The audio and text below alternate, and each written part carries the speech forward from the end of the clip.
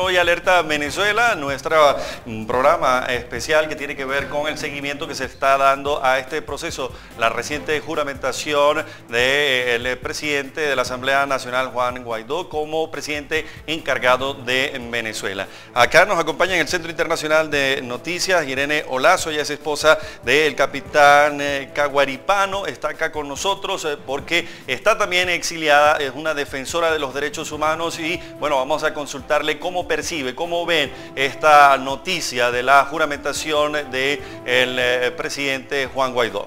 Bienvenida, Irene. Sí, muchísimas gracias. Muy buenas tardes a todos.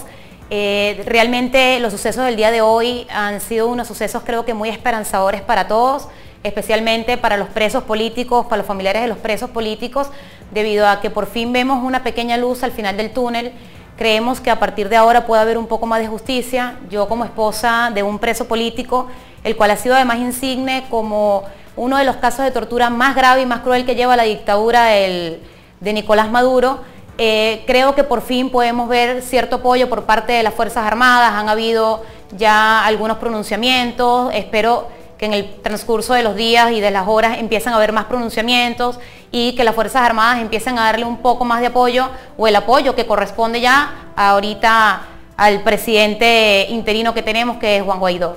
Eh, Irene, cuéntanos un poco para que toda Centroamérica se entere eh, cuál es la situación con tu esposo. El capitán Juan Carlos Caguaripano, el 11, el, en agosto del, 2018, eh, perdón, del 2017, él hizo una toma del fuerte para Macay él hizo una, toma de, un fuerte armado para poder obtener armamento y salir a la defensa del pueblo, pueblo que estaba siendo masacrado en el 2017. Durante todo el año del 2017 hubo muchas marchas, muchas acciones de protesta en calle y hubo más de 130 fallecidos en manos de funcionarios de las Fuerzas Armadas y Policía. Él, como funcionario de las Fuerzas Armadas, como capitán de la Guardia Nacional, decidió ponerse del lado correcto de la historia y decidió entonces salir a la defensa del pueblo. Eh, lamentablemente fue traicionado, diez días después fue eh, capturado y una vez que es capturado empieza un proceso grave de torturas, en donde las torturas llegaron hasta desprendimiento de los testículos, deformidades de manos, pies, eh, un caso muy insigne de tortura ante la OEA. Han sido denunciados ya. Sí, han sido denunciados, incluso mi esposo cuenta ya con eh, una medida cautelar otorgada por la OEA, medida obviamente que no ha sido cumplida. Una medida cautelar en la cárcel. Eh, una medida cautelar en la cárcel, pero aún así no ha sido cumplida. Él se encuentra detenido desde ese momento en la tumba, en el SEBIN de Plaza Venezuela. Es una cárcel que no debería existir, son 30 metros bajo tierra, eh, solamente tienen acceso a luz artificial, no lo sacan al sol, eh, los mantienen a temperaturas muy bajas como parte de tortura psicológica, todas las paredes son blancas, las rejas son negras, no tienen acceso a ningún tipo de medios de comunicación, llamadas telefónicas y así ha permanecido más de un año y cinco meses. ¿Cómo se contacta con, tu, contigo, con la familia, con sus hijos? Han sido muy pocas las oportunidades que le permiten a los presos que, se mantienen en la tumba eh, poder acceder a visitas. Estas visitas son sumamente supervisadas, son grabadas, son monitoreadas y eh, actualmente los familiares más directos, sus padres, son los que están ingresando a la visita. ¿Y tú, bueno, qué te dice el propio capitán cuando eh, tienen algún tipo de contacto? Como, por ejemplo, ustedes tienen una niña, ¿cómo está la situación con ella? Bueno, gracias a Dios la niña es de nacionalidad costarricense. Desde el momento de la captura de mi esposo, eh, Costa Rica y Cancillería de Costa Rica hizo algún tipo de pronunciamiento de tal forma de que la niña fuese eh, puesta bajo la supervisión de las autoridades costarricenses. Aún así, pues nosotros llegamos hace unos meses y estamos ya en Costa Rica tratando de que la niña esté un poquito más estable emocionalmente. Para la familia no ha sido fácil, mantuvimos mucho tiempo de persecución. Mi esposo desde el 2014, la niña apenas tenía cuatro meses de nacida, se tuvo que ir a la clandestinidad y durante todo este tiempo, hasta el 2017, nosotros fuimos perseguidas, allanadas. Eh, la niña tuvo intento de sustracción por parte de funcionarios de la, del DGCIN, que es el eh, todo lo que es la división de contrainteligencia militar, que lo manejan funcionarios militares, y teníamos prohibición de salida. Eh, yo traté en varias oportunidades de poder sacar a la niña y traerla a Costa Rica, pero aún así tenía prohibición de salida a la niña y el consulado no entendía, o el consulado costarricense no entendía cómo le prohibían la salida a un menor de edad costarricense.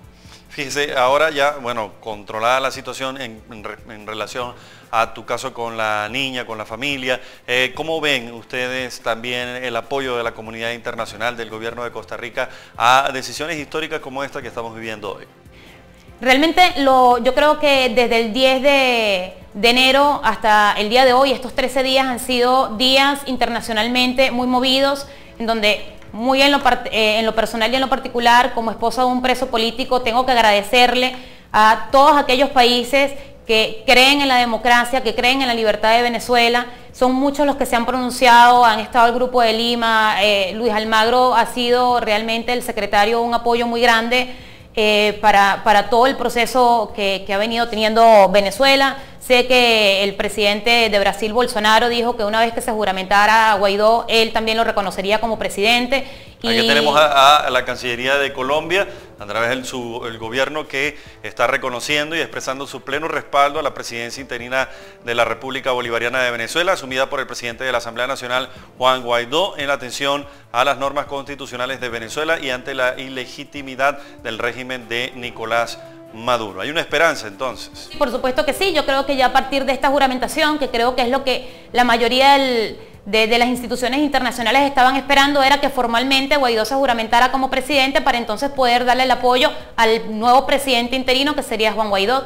Y esa esperanza también va a, la esperanza de que los presos políticos queden en libertad luego que ya ha asumido, haya asumido el poder. Eh, esperemos que sea así. Más tengo que confesar, y esto lo hago público, tengo cierto temor por todos los presos políticos, especialmente los presos políticos militares que han sido... Que le pueda pasar algo ahora en estos momentos. Eso es correcto. Que le puedan pasar algo, eh, que lo puedan utilizar incluso como, como escudo, ya que eh, a partir de ahora tiene que comenzar una división dentro de las Fuerzas Armadas venezolanas.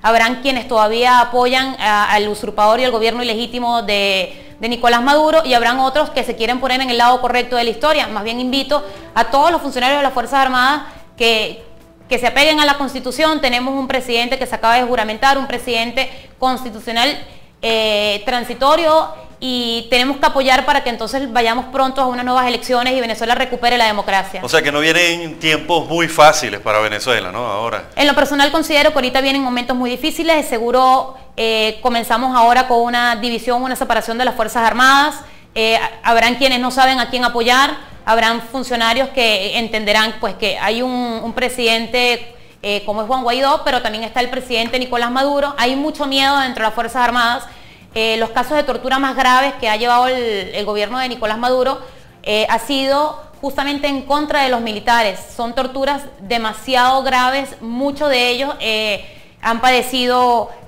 han terminado con ACB, el general Vivas lamentablemente salió hasta con una condición a nivel de su columna de la cantidad de golpes muy graves. Entonces es como una forma de decirle al funcionario, tú te rebelas en contra mío, mira lo que te puede pasar. Entonces hay mucho miedo, más sé que también dentro de las Fuerzas Armadas quedan muchos funcionarios que son constitucionales y que están padeciendo lo mismo que padecen todos los venezolanos y todas las familias de Venezuela. Y estoy segura que muchos de ellos no son asesinos, muchos de esos eh, funcionarios que están del otro lado de una marcha eh, simplemente cumplen una orden, pero recuerden, son delitos de lesa humanidad. Esos delitos de lesa humanidad no transcriben y siempre van a ser juzgados por cortes internacionales. ¿Y usted cree que podría aumentar en las próximas horas el número de presos políticos? ¿Podría aumentar la cantidad de, em, bueno, de retaliación contra eh, funcionarios de eh, las Fuerzas Armadas? Sí, definitivamente sí. Esta mañana hubo un comandante del ejército que hizo un pronunciamiento con varios. Ya ellos seguros si no están en la clandestinidad, posiblemente están detenidos y así como él vendrán muchos más. Eh, más yo no pierdo la esperanza, creo que dentro de las Fuerzas Armadas eh, está todavía, están a tiempo de, ayudar al presidente Guaidó a reconstruir y a restituir el hilo constitucional de la República. ¿Y usted sí cree que existe en estos momentos dentro de la institución de las Fuerzas Armadas, dentro de los diferentes componentes de la Fuerza Armada, existirá la voluntad de apoyar al nuevo presidente? Estoy segura que sí hay. El, lunes, el lunes en la mañana o en la madrugada hubo un grupo de sargentos que muy valientemente ellos eh, se pronunciaron en contra. En este momento fueron detenidos. El día de ayer Tamarazujo ya estaba dando información de las torturas al cual habían sido sujetos estos funcionarios, pero sé también que no pueden apresar a todas las Fuerzas Armadas y deberían de ponerse del lado correcto. Van a aumentar eh, los presos militares, estoy segura que sí, habrán enfrentamientos, espero que no sea así, pero es lo, el panorama que se avece.